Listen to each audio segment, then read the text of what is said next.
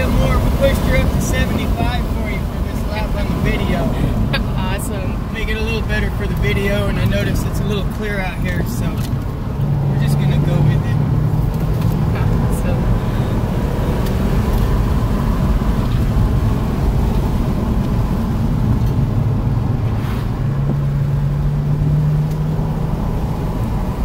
Slow down for that worker to come on in. I'll take you up and across, start finish, and then we'll go around and come in. Cool.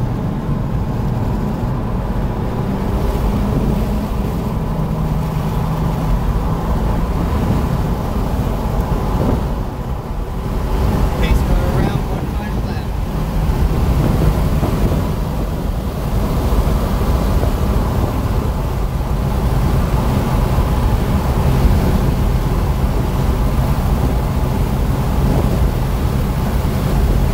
So I've been up and around the top of this speedway at 140, topped out in my car. Uh, not race prepped. I wished I had better tires. It would have been more fun. but uh, it can be hairy. I bet, yeah.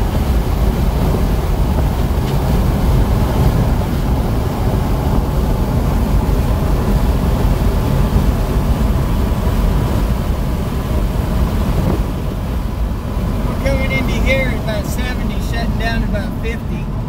Rotate around the corner for you. The control's got their eye on us, so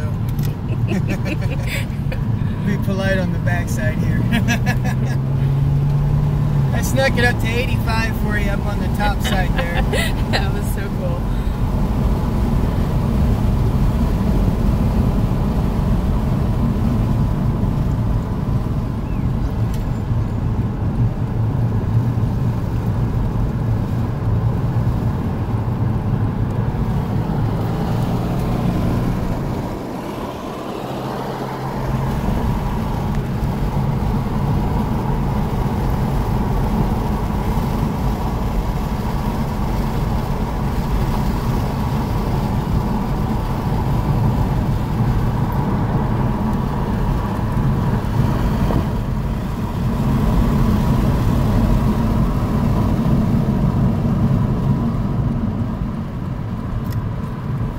Biggest thing you can remember, especially on this track, is you don't want to do a lot of turning when you're braking hard, and especially on this back turn.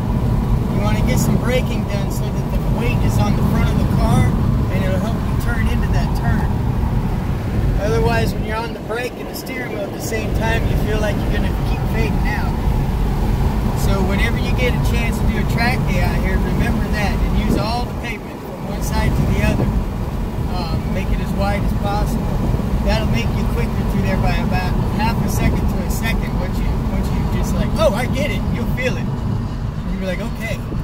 Um, so you lay down on your speed on your braking as you're drifting out, and then you ease up on your brakes and turn in, and it'll just dart the car right in.